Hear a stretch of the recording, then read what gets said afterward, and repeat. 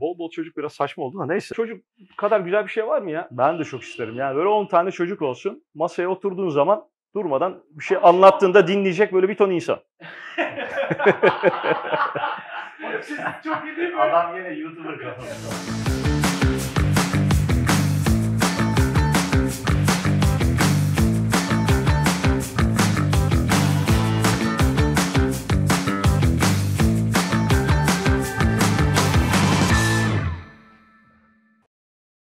Arkadaşlar merhaba. Bir dakika şimdinin yeni bölümüne hoş geldiniz. Bugün yine tartışma yaratacak bir konu başlığıyla karşınızdayız. Fakat yine o klasik hatırlatmamızı yapalım. Bizi konularla alakalı beslemek için lütfen yorumlar kısmına konu fikirlerinizi ve tabii ki en nihayetinde bugünkü konuyla alakalı fikirlerinizi de yazmayı unutmayın. Ve tabii ki en klasik hatırlatmayı da yine yapalım. Kanalımıza abone olmayı ve bu videoyu beğenmeyi unutmayın. Buyurun bakalım bugünkü tartışmalı konu başlığımız ne? Ses kaydımızı bir dinleyelim.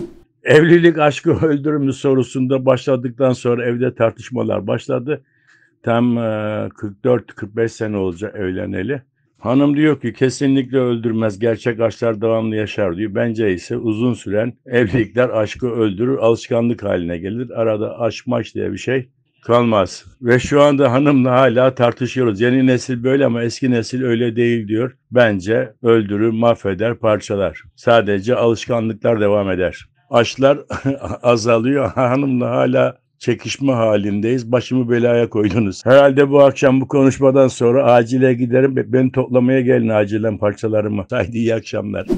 Şimdi abi bir kere çok cesur. Evet. Yani genelde insanlar, erkekler böyle düşünmesine rağmen evliyken bunu çok kolay söyleyemezler. Muhtemelen uzun yıllardır evli olan bir Evet, çift. 40 yıldır evli. Bu arada tabii söyleyelim konumuzu zaten ne olduğunu anlamışsınızdır. Evet. Evlilik aşkı öldürür mü? Hadi göbekleme girelim o zaman. Sen bir kere başım şöyle bir durum var. Sen burada samimi konuşamazsın. Neden? E, evlisin. Alabilir. E sen de samimi konuşamazsın. Niye? E Ben sen de boşanmışsın. E, boşanmışsın da ben e, illa boşandım diye şey yapacak durumda değilim. İlla yani ben benim şu an şey yalan yapacak söylemekle alakalı değilim. sorumlu olduğum kimse yok. Senin var. Yani ben niye yalan söyleyeyim? Ben objektif E, işin var çünkü. adamım. Sen şimdi O- evlilik aşkı öldürüyor dersen eve gidince dayak yersin. Bak şimdi olsun öyle. ben softlaştırarak da olsa söyleyeceğim fikirleri söylerim burada söyleyeceğim bir şey varsa. İyi peki tamam. O zaman şuradan başlayalım. Ben şunu söyleyeyim bir kere en başta. Aşk ne kadar güzel bir şey gibi gözükse de bana göre aşk zaten başlı başına hastalıklı bir ruh hali. Yani doğru bir ruh hali değil. Zaten e, aşk bir illüzyon. Onun sebebini birazdan ben kendimce açıklamaya çalışacağım. Ama yani aşk dediğin şeyin ben çok doğru bir ruh hali olduğunu düşünmüyorum. Çünkü şöyle bir şey var. Yani bir insana aşık olduğun zaman onu yüceltmeye başlıyorsun. Yani onu kusursuz bir konuma kendi kafanda konumlandırıyorsun. Halbuki her insan etten kemikten. Yani evlilik aşkı öldürüyor diye bir şey değil aslında. Bunu şu şekilde genellemek lazım. Aynı evin içerisinde yaşamak aşkı öldürür. Sadece evlilik değil. Olabilir. Ben genel olarak aşkı öldürdüğüne inanmıyorum. Evlilik aşkı süründürür mü dersen o konuda evet öyle bir süründürme olması muhtemel. Yani sonuç olarak O yani ne demek ya? Çemberin ya içindesindir ya dışındasındır. yok Sürünmek hani ne tabii ki Sen sürünüyor musun şu anda evliliğin? duygusal anlamda ilk evliliğin ilk aşk, aşık olduğu dönemin başında tabii ki böyle o coşku, o heyecan yavaş yavaş belli bir rutine girdikten sonra azalıyor zaten. Ama bunu öldürmek olarak tanımlamıyorum ben. Azaltabilir mi? Azaltır. Bazı alışkanlıkları insan alışır ama bu bitiriyor anlamına gelmez. Bitiriyorsa zaten senin niyetin yokmuşa gelir bence. Hayır canım ne alakası var? Şimdi şöyle bir Büyük şey var. aşklar yani- bitmez. Hayır öyle bir şey yok. Her aşk biter. Sonsuza kadar süren zaten bir aşkın olması mümkün değil. Şuna döneyim. Yani aynı evin içerisine girdiğin zaman neden aşk ölüyor? Yani bunun aslında bir sebebi var. Yani ilk söylediğime geri geliyorum. Sen aşık olduğun zaman bir insanı yüceltiyorsun. Onu kusursuz gibi görmeye başlıyorsun. Hayallerinde, rüyalarında durmadan onu arzuluyorsun. Orada bir şehvet de var aslında. Bence Ama onlar senin yanlış düşüncelerin Hayır, ya ben aşk öyle öyledir ya. O zaman sen aşık olmamışsın. Sen aşık olduğunu sanıyorsun. Aşk böyle bir şey. Sen çok Aşk daha öyle bir zayıf şey bir durum var. senin aşka Daha- bakışında bir yanlışlık daha- var. daha Daha kafadan bir sıkıntı var. Sende daha sıkıntılı bir durum. Bence. O zaman senin daha aşk şey var. şiddetin çok düşük. Yani aşk çok daha yoğun bir duygu. Bence sen aşık olmamışsın zaman. Bence Neyse. sen aşk zannet. Sen sen Oğlum sen ikizler burcusun zaten. Sen nasıl aşık olacaksın? Sen aşık olamazsın. Ben yengeç Doğru. burcuyum. Ben aşkın burcuyum. Yani sen o işleri bırak. Ama bak şöyle bir şey var. Aynı evin içerisinde niye aşık olamazsın biliyor musun? Niye, Niye aşık kalamazsın? Şundan dolayı. O kusursuz insan yeri geliyor tuvalete giriyor. Değil mi? Arkasından pat sen giriyorsun. Bak İçeride ne kadar kokusu da içeride bir bok kokusu. Veya sabah kalkıyorsun makyajı yok. Veya bakıyorsun bin bir türlü tırnağında bir sıkıntı var, elinde bir sıkıntı var. O flört döneminde harika olan kadın yani dışarıda yürüdüğünüz zaman yüreğini hoplatan kadın. Herkesin dönüp baktığı kadın. Aa evin içerisinde bir bakıyorsun normal osuran sıçan bir insan. Şimdi bunu gördüğün zaman abi bok kokusunun içerisinde aşk olmaz. Yani bunu bir kere yaşadığın an bir de aşk böyle bir şey. Yani aşk şurada hissediyorsan şak şuraya indi. Kötü bir hareketini gördün. O harikalığı bozan bir hareketini gördün. O aşkın seviyesi iniyor. Ondan sonra burayı muhafaza etmen lazım. Bu bir daha böyle olmuyor. O indiği zaman daha da iniyor. Ama bak şu var. Aşk zaten dediğim gibi hastalıklı bir ruh hali. Aşkın yerini ne alıyor? Sevgi alıyor. Aşkın yerini ne alıyor? Alışkanlıklar alıyor. Aşkın yerini ne oluyor? Süreç içerisindeki bağımlılıklar alıyor. Aslında bu daha kıymetli. Yani sevgi çok daha kıymetli bir şey. Bak sevgi ömrünün sonuna kadar sürdürebileceğin bir şey. Alışkanlık keza aynı şekilde. Yani ben açıkçası aşkı çok sağlıklı bir ruh hali olarak bulmadığım için bitmesini de doğru olarak Yani buluyorum. senin baktığın şekilci aşk zaten çok sağlıklı bir durum değil. Genelde o senin dediğin senin aşklar aşk zaten değil. bitmeye bitmek için başlayan bir aşk oluyor senin bakış açın. Çünkü oldukça şekilci. İnsana olduğu gibi seven, olduğu gibi beğenen bir hal değil. Senin Ben- bakış açında biri sevdiğin insan, aşık olduğun insan hastalanırsa ondan tiksinirsin, aşık olmazsın. Hayır, Aynı yere geliyorsun vesaire. Aynı şey. Hayır hayır. Bak yüceleştirmek başka bir şey. Sevgi duymak yani sonsuza kadar sevmek, ona bağlı kalmak, onun her anında yanında olmak o başka bir şey. Yani sen aşk sen illaki birisinin hastayken yanında olabilmek için aşık mı olman lazım? Sen böyle bir adam mısın? Değilim. Ee, sen dostlarına aşık mısın? Hayır, Hastayken bütün bu dostlarımızın sevdiğin insanda böyle olmaz ama. Niye olmasın? Senin bakış açına E göre zaten de sevdiğin insan insanda diyorsun. aşk biter diyor. Hemen biter. E zaten ama sen de- hastalandı. Beraber ya beraber yaşayınca aşk niye bitsin? Biter tabii ki. Ya şöyle düşün. İlk günkü hevesin kalmaz, kalamaz. Bu çok insani bir durum. da azalır. O konuda tabii Aynı ki yani belli söylüyoruz bir işte. alışkanlık. Ama Aynı şeyi söylüyorsun ben de şu an. anlamında bitiyorsa senin ayran gönüllülüğündür. Hayır. Sen aşkın göre. bitmesini ne olarak algılıyorsun? Yanındakinden nefret etmek olarak mı algılıyorsun? Sen olayı çok yanlış algıladın. Hayatta zaten en sevdiğin insan o oluyor. Ayrı bir şey. Her anını onunla beraber geçirmek istiyorsun. Yani geleceğe yönelik her planda yine yanındaki insan oluyor. Bu sevgi, bu bağlılık, bu alışkanlık. Aşk başka bir şey. Değil. Ya sen aşık, Aşk onun olmamışsın. içine girmezse olmaz sen öyle aşık bir şey. olmamışsın. Sen aşkın ne olduğunu bilmiyorsun. Bence sen bilmiyorsun aşkın ne Sen olduğunu. ikizler burcusun bir kere. Sen aşık olamazsın. Ne alakası var Aa, şimdi? Olamaz abi. İkizler burçları kolay kolay aşık olamaz. Ya bırak bu işleri. Olmaz İki- yani. İkizler Burcu Ya aşk, yengeç- aşkın kralını yaşar ikizler Yengeç Burcu. burcuna aşkı öğretiyorsun. Oğlum ben aşkı sonuna kadar, dibine kadar Ya, yaşayan... ya, sen beni... hayatımda gördüğüm en ilişki yürütemeyen adamsın bir de Hayır, bak bir şey. şimdi beni Allah Allah ya. İlişkiyi yürütürüm yürütemem. Benim Allah ilişkilerim Allah. çok genelde fırtınalı olur. Evet yürütemem. Yani yürütürüm yürütemem. O ayrı mesele de. Zaten çok aşık olduğum için yürütemiyorum ben ilişkilerimi. Ondan İşte, dolayı ben- işte yani. belki aşkın bakışıyla bir sıkıntı olmuş olma ihtimali yok mu orada yani? Doğru bir ruh hali değil yani aşk. Yani aşk bence doğru bir ruh hali. Aşkın bitmesine Sen- katılmıyorum ben. sen- Tekrar sen- söylüyorum. Aşk azal ya şey azalır tabii ki. Ne dedi? Heyecan azalır. Ama heyecanın Ya azalması heyecan azalınca aşk bitiyor işte. niye bitsin Aşk abi? eşittir heyecan. Sen aşkın Değil ha- bitmesini ne- anlayamıyorsun. Hayır niye anlamıyor? Salak mıyım? Anlıyorum. Anlayamıyorsun. Anlıyorum. Bak şeyi düşün. dakika Senle biz şimdi kabak abi. koyuna gittik hatırlıyor musun? evet. Kabak koyunda tuvaletlerde ne vardı? Kapı yerine. Ha şey vardı. Kasaplarda böyle şey olur ya ne denir ona? Perde. Boncuklarda perde yapmışlar tuvaletin girişine. Abi şeyde kabak koyuna gittik. Kaldığımız otelin yani bungalov evler var. Bungalov evin içerisinde tuvalet var. Tuvaletin kapısı yok. Böyle boncuk boncuk şeyler var. Teller var. Mesela orada aşk olmaz. Kasap orası Orada sen bu ömür boyu yaşa bakalım aşk oluyor mu? ya ömür boyu yaşama tabii öyle bir yerde de. Yani kabak koyunda her türlü şey olur. Ee, Ama mesela orada aşk olmaz diye bok kokusu var. Ya onu geçeceğim. Orası millet oraya aşık olup balayına gidiyor ya öyle yerlere. O Paralya'ya gidiyor. Kabak koyunda balayına giden hiç hayatımda duymadım ben de. Yani var var onu. Ya tabii ki o çok saçma bir konseptten girdiğin için açıklama yapamadım yani. Onu savunacak bir noktam yok yani. En saçma şeydi de. Niye aşk olmasın orada? Orada da aşk olur. Olmaz. Bir şey aşk imkansızlıklara rağmen böyle saçmalıklara rağmen sürer. Onlar beylik laf. Yanında biri osurdu diye onunla aşkından geçiyorsa olmaz zaten. Onlar Sen, beylik laflar. olmaz. Bak abimiz çok doğru bir şey söylemiş. Nasıl söylemiş ben anlamadım. Yani Kim o böyle abimiz? ev, ya ses kaydı dinledik ya. Ha. Bizim yaşımızda Tamam, biri değil tamam. herhalde. Sesi Yok, biraz o- yaşlı geldi. yaşlı, 40 yıllık evet. evli dedin gerçi zaten. Bizim yaşımızda olması mümkün değil de. kim bu abimiz? Kim bu abimiz? Ses kaydını dinlediğimiz Evet, abimiz. evet. Peki. Yani benim aşkla alakalı düşüncem bu. Ben bir kere çok rahat aşık olabilen bir insanım. Yani aşkı yaşayan bir insanım. E, aşık olduğum zaman da çok net söyleyeyim. Gözüm hiçbir şey görmez. Yani çok saçma şeyler yaparım. Yani mantık zaten aşkın mantığı budur. Yani mantık rafa kaldırılır. Tamamıyla kalbinle hareket edersin bana göre. Aşkın tarifi de bu. O yüzden hani ben kendi yaşadıklarımdan da yola çıkıyorum. Etrafımda gördüklerimden de yola çıkıyorum. Aşk zaten çok sağlıklı bir ruh hali değil. Yani onu çok net söyleyebilirim. Sen bayılmayı ölmek zannetmişsin Oytun. O tam sana oturuyor şu an bu cümlede yani ben aşık olmak çok yoğun bir şeydir diyorum. Sen hafif bir şeydir diyorsun. Ben hafif Aşk, bir aşk şeydir yoğun dedim. bir şeydir. O. Aşk- Senin, senin düşündüğün gibi hafif bir şey değil yani aşık olmak. Aşk olmazsa ben diyorum evlilik olmaz. O aşk hep devam eder. Ayrı bir şey. Hayır. Evlilik olur. Yani şöyle olur. Sen her aşkın bittiğinde boşanacaksan ayvayı yemişsin. Olmaz öyle. Yani bir insana sadakat yemin ediyorsan ben senin gibi düşünmüyorum. Yarı yolda bırakılmaz devam edilmeli. Yani bir insana sadakat yemin ettiysen devam edeceksin. Çünkü sevgi var. Aşk zaten öyle sonsuza kadar süren bir şey. Senin duyduğun şey aşk değil. Sen duyguları karıştırıyorsun. Emin değilsin yani duygularını. Aşk her zaman devam eder. Şiddet azalabilir, alışkanlıklar Ya.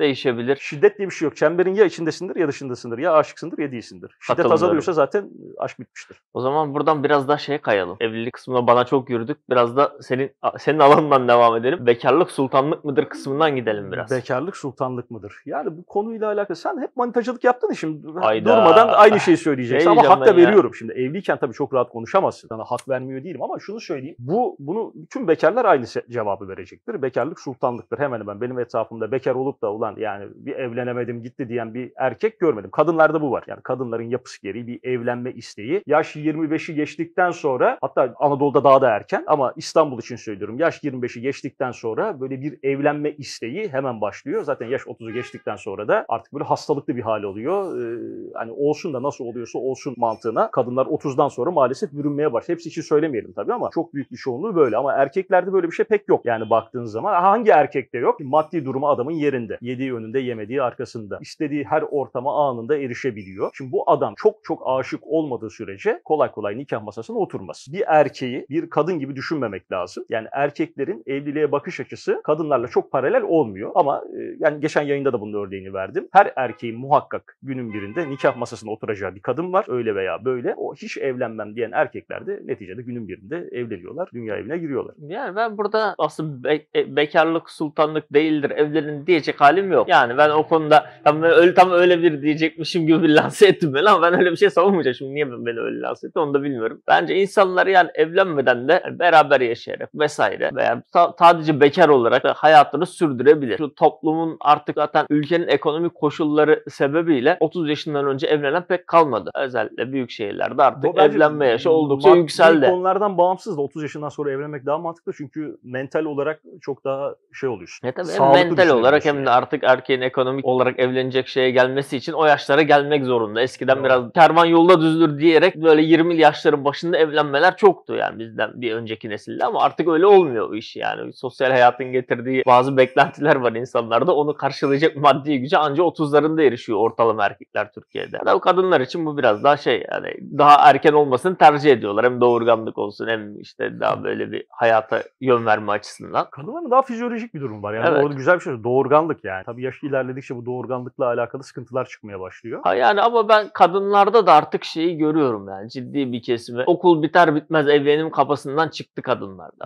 On- Onlarda da o da dediğim gibi şeyle alakalı artık. Ya çağın getirisi o. Hani erkekler o yaşlarda evleniyor. Kadınlar yok hayır biz inatla evleneceğiz demeyi bıraktı en azından. Z kuşağına yakın olan kesim diyeyim. Onlar da zaten artık ekonomik hayatın içine girdikleri için herkes önce bir belimi doğrultayım derdine düştü. Bir önceki nesilde çünkü şeydi yani bir şey önce evleneyim ondan sonra bir şeyleri yapayım vardı. Şimdi önce bir şeyleri yapıyor sonra evlenirize döndü. Orada ben ben bekarlık bu süre doğal olarak bekarlık süresi de arttı. Ve burada herkes bunun sultanlığını sürmeye başladı. Bunu da işte birazcık daha insanlarda şey görüyor. Sosyal medyanın etkisiyle vesaire de sultan olan bekarları çok görüyorum. Güzel yapıyorlar. Geçsinler, Güzel eğlensinler. yapıyorlar. Benim şeyin e, bir sözü vardı. Babamın bir sözü vardı. Derdi ki oğlum evlilik fakir adam işi derdi. Yani çünkü şimdi ben birçok erkekte şunu duyuyorum. Özellikle böyle Anadolu tarafında şöyle bir mantık var. Ulan hayatımız evlensin de hayatımız evlenelim de hayatımız düzene girsin. Hmm. Ya şimdi niye bunu istiyorsun? Aynı evin içerisinde işte kadın normalde iş dağılımı yapıldığı zaman daha muhafazakar yapılarda erkek işe gidiyor, kadın evde kalıyor, işte yemek yapıyor, işte elbisen ütülü oluyor, ne bileyim işte e, ortalığın temizliği yapılıyor falan filan. Şimdi normal şartlarda sen bekar kaldığın zaman, bir erkek bekar kaldığı zaman evi bok götürüyor. Birçok insan ba- bana göre o kadar sıkıntılı bir bakış açısı ki yani hayatını düzene koymak için evleniyor. Bana göre evlilik hakikaten çok aşık olduğun zaman yapılacak bir yemin. Yani sadece e, ömrünün sonuna kadar keyifle beraber geçirebildiğin doğru insanı bulduğun zaman yapılacak bir şey. Yani ben böyle stratejik evliliklere karşıyım. Yani mantık olarak karşıyım. O yüzden hani tabii işin şu boyutu var. Senin de etrafında çok var. Benim de etrafımda çok var. Çok da ortak arkadaşımız var bunu söyleyen. Evlidir durmadan evlilikten şikayet eder. tabii ben ona gelecektim Durmadan, zaten. durmadan. Bir de Yani öyle bir bir yere gidiyorsun. erkek hep bir şey söylüyor. var. Hep şikayet ediyor. Ama bak %90 bak bu oran bu arada. Bunların içerisinde de hiçbirisi kolay kolay gidip boşanmıyor. Durmadan Hmm. konuşuyor, ediyor, şikayet ediyor. Bizde de oluyor yani böyle e, arkadaşlarımız içerisinde ulan evlendik de onu yapamadı. Ulan evlendi bunu yapamadı. Hele bir tane ne. arkadaşımız var ortak sen de tanıyorsun. Durmadan bana takılıyor. Takılır işte. Komando öyle böyle jandarma falan filan işte ne güzel yapıyorsun şöyle yapıyorsun böyle yapıyorsun. Ulan diyor sen de yap yap tutan mı var? Hatta en ufak bir şeyde o kadar korkar ki böyle. Yani mesela şeyi değiştiririz ortamı değiştirelim deriz. Rakı içiyoruz falan. Bir an böyle plan değişiyor. Diyoruz ki şu kul- kulübe gidelim bir şey yapalım bilmem ne yapalım falan. Yenge de evde yok. Eşi de evde yok. Gitmiş iş gezisine gitmiş bir yere gitmiş ailesi ya da ya İstanbul'da değil. Çok yaşadık bunu. E sen de gel. Yok abi ben eve gideyim. E gel oğlum işte yok. Yani nereden bilecek, nereden duyacak falan. Yok abi ben gideyim. Böyle bir yapı da var. Yani hem şikayet ediyor hem de hadi gel icraata geç. Yok. Ben mesela icraata geçmem. Şikayet etmem. Evlenin abi seviyorsanız senin, evlenin. Senin hiç icraata geçtiğini ben de görmedim. Ee, açıkçası e, samimi Şimdi video diye yani. konuşmuyorum. Yok ben. video diye konuşuyorum hakikaten yani altı o konularda şeydir. Ama zaten doğrusu da budur. Yani evli bir insanın kalkıp böyle, o, böyle işte şeyler... o evlilikten şikayet kafasında alıyorum. Abi o kadar şikayet Yok, ediyorsan ben niye bahsedin. ya? Ya şikayet ettiği zamanlar tabii ki olur. İnsan sinirlenir. Ya o Anlık başka bir şey olarak ama her ortamda kahretsin. her böyle bekar biriyle gelince evlenme evlenme sen Ama bak zaten bu sana bir şey söyleyeyim mi? Bu senin eşine yaptığın çok büyük bir saygısızlık. Hmm. Geri geliyor eşin o insanlarla aynı masaya oturuyor. Sen eşini küçük duruma düşürüyorsun. Ya şöyle bir şey var. Evlendiğin zaman takım gibisin abi. Hı. Yani e, aynı tarafta oynayan bir takım gibisin. Futbol takımı, basket takımı gibi. Yani yan, ya, karşı taraf yanlış bir şey yaptığında o hata sana yazıyor. Karşı taraf iyi bir şey yaptığında o artı da sana yazıyor. O yüzden evlendikten sonra takım gibi hareket etmek zorundasın. Kalkıp eşini başka birisine kötülemek, en yakın arkadaşın bile olsa bu çok kötü bir şey. Onu küçük duruma düşürüyorsun. İşte o eşini da yapmıyor. Takımın Evlilik bir parçası olduğu için size eksi yazıyor aslında. gömüyor sürekli. Ya yok bekar şimdi ben bekar olsam şunu yapardım. O sen de bunu yapıyorsun bilmem ne. Yani kardeşim zorla seni o bir diken bahsasına kimse oturtmadı. Bunu daha kötüsünü söyleyen de var. Şey diyor yani Allah belasını versin nerede ulan diyor. Gün yüzü göremedim. Bir şey olsa çocuk olmasa diyor boşayacağım diyor. Bak şimdi bu kadını aşağılamak. Yani kadını hor görmek aslında. Burada şey var yani kadını küçültüyorsun. Ya bu kadın aslında evli kalınmaya layık bir kadın değil. Ben sadece çocuk için evli kalıyorum. Bu kadını çok yaralayan bir şey. Yani ben bir kadın olsam bu cümleyi duysam benim için o an evlilik biter yani. O yüzden hani bu tarz şeylerde kiminle konuşursan konuş, eşinle alakalı konuşurken çok dikkatli olmak lazım. Ya, komik geliyor ya böyle sürekli Bana da komik geliyor da yani. Ev- Evli ve kovalayanlar sürekli- var bir de. Onlar ay- ayrı bir grup zaten. Hani bu konuştuğumuz kesim şey evli ve hani bekarlara birazcık imrenen kesim olduğu için her ortamda böyle kendini gömüyor. Bir de hem evli olup hem gözü dışarıda olan tayfa var. Onlar ayrı komik yani. Onlar o da çok ciddi bir oranla denk gelir gene ülkedeki erkeklerin. Hani bak böyle komik dedim. Vardır yani çok vardır. Hakikaten böyle her bulduğu fırsatı gole çevirmeye meyilli bir tayfada son dönemde türedi. Bu da elindekinde yetinmeyen veya artık elindekinde yetinmeyen demeyeyim de Eldekiyle yetinmek de. Do- do- doğru ta- ta- tanımamadı. Yetim kardeşim. Gözü dışarıda diyeyim ya tamam. Evet hakikaten burada yani ben onlara büyük bir kısmının da hani "Ulan evdeki karıma aşık değilim de ben gideyim dışarıda başkasına aşık olayım diye yapan adam tayfası da değil bunlar. Hani evliliğinde mutsuz olan olduğu için dışarıda arayan çok az. Bunların büyük kısmı aksiyon olsun diye yapıyor bunu. Tabii tabii. Gerçekten böyle bir Komando. Tam tam öyle yani. Hani yoksa evliliğinde mutsuz musun desem yok bilmem ne. E, niye kovalıyorsun? E, onun keyfi başkaya geliyor. O erkeklik şeyini atamıyor. Ya bekarlık heveslerini atamıyor üstünden. Var öyle bir grup. Var yani işte ama işte o da şey e, evlilik kurumuna yakışan yakışan bir şey değil. Yani şöyle bir şey olmalı. Bana göre bir erkek her şeyi yaşamalı ve ondan sonra evlen. Yani gözün artık dışarıda kalmamalı. Hala böyle gözünü dışarıda bırakan şeyler varsa yani kendine zaten şöyle bir şey var. Bak ben hep şunu söylüyorum. Birçok arkadaşım bana geliyor şunu soruyor. Abi işte son aşamaya kadar geldik. Artık nişan falan yapılmış. Yani hala diyor şey değilim, emin değilim. Yani evleneyim mi, evlenmeyeyim mi? İşte burada şey mi yapsak? Ben hepsine aynı şeyi söylüyorum. Bunu diyorum diyorsan evlenme. Çünkü evlilik böyle soru işaretleri, en ufak bir soru işaretiyle bile yapılacak bir şey değil. Yani evlilik yoluna girdiysen artık her şeyden emin olman lazım. Hiçbir soru işaretine yer kalmaması lazım. Çünkü evlendikten sonra zaten 50 bin tane sıkıntı başlayacak. O çok net. Yani baş, ailelerle bir şey oluyor, onlarla bir şey oluyor, bir keşmekeş çıkıyor. Aynı evin içerisinde şey yapmaya başladığın zaman başka problemler oluyor. Kadınlar imza attıktan sonra genelde bir değişiyor zaten bir kafa yapıları farklılaşıyor falan filan. Yani zaten sıkıntılar çıkmaya başlayacak evlendikten sonra. Daha evlenmeden evvel senin kafanda soru işareti varsa siktir et boş ver yani o topa o yola hiç girme. Ama birçok insanda görüyorum etrafımda kendinden çok emin bir şekilde abi diyor, evleneceğim, aşığım. Ben yani o insan olmazsa ben yaşayamam. Ondan başkası da benim için mümkün değil. Bir tek o. İlle de sen diye bir şarkısı vardır Azer Bülbül'ün. İlle de sen diyor yani. Ha o zaman diyorum ki harika. Yani bunu söyleye bunu her zaman çünkü kuramazsın bu cümleyi bir insana karşı. Hiç diyorum düşünme evlen. Nikah şahidi de ben olayım diyorum kim söylerse. Yani e, bu güzel bir ruh hali. Bu şekilde düşünüyorsanız evlenin. Bu şekilde düşünmüyorsanız bence evlenmeyin. Evlensinler ya boş ver. Evlensen çocuk çocuk olacak abi. Çocuk nasıl olacak başka türlü? Ha, Evlensinler. Yani dışı neslini olmaz sürdürsün. çocuk. Öyle ge- bekar bez, bekar gez nereye Tabii, kadar? Nereye kadar? Yani bir erkek için artık 40, Çapulcu gibi 45 dolaşıyorsunuz ortalıkta gidin evlenin bir hayatınızı düzenleyin. Tabii. Ya bu yaş söylüyoruz böyle. Ha kaç yaşlı? Bu da belki program ayrı bir program konusu olabilir ama yani hani yaşı söylemenin de çok bir anlamı yok. Çünkü ben de şimdi şey diyorum işte böyle 40'a 40'tan evvel evlenmem falan diyorum kendi kafamda şu an ama işte öyle olmuyor. Pat diyor karşında birisi çıkıyor. O 40'tan evvel evlenmem diyen adam bir bakmışsın bir yıl sonra nikah masasına oturmuş. Genelde öyle Böyle. oluyor. O işler kısmet yani. Böyle bir yaş sınırı çizmemek lazım. Evet kısmet nasip diyerek programın sonuna doğru ufaktan geliyoruz. Hayırlı Burada bir yayın oldu. Böyle nasipler, kısmetler Evet, bilmem neler bekar falan. arkadaşlara sesleniyorum. Gidin gezin, dolaşın. Lazım olana kadar evlenmeyin bence. Evet, Aynı yere bağladık yalnız konuyu. Ya aynı yere bağlı ama evlen, evleneceksiniz de ömür boyu aşık olacağınız insanla evlenin. Böyle evlendim, aşkım bitti, ay osurdu, aşkım bitti falan diyecekseniz hiç yormayın kendinizi evlenmeyin Ben de e, bekar arkadaşlara buradan sesleniyorum. Tabii ki aşık olun fakat aşk hastalıklı bir ruh halidir. Aşk geçicidir. Emin olun o aşk kalmayacak. O yüzden ömrünüzün sonuna kadar beraber olabileceğiniz, sohbetinden çok keyif aldığınız, sabahlara kadar saçmalayabildiğiniz bir insanı muhakkak bulun. O insanı bulmadan da laf olsun diye nikah masasına oturmayın. Nikah masasına oturduktan sonra da yemininize ömrünüzün sonuna kadar sadık kalın ve hayırlı bir evlilik yapın. Bol bol da çocuk yapın diyelim. Yorumlara yorum yazmayı unutmayın. Videoyu beğenmeyi unutmayın ve en nihayetinde tabii ki kanalımıza abone olmayı unutmayın. Diğer videolarda görüşmek üzere. Görüşürüz.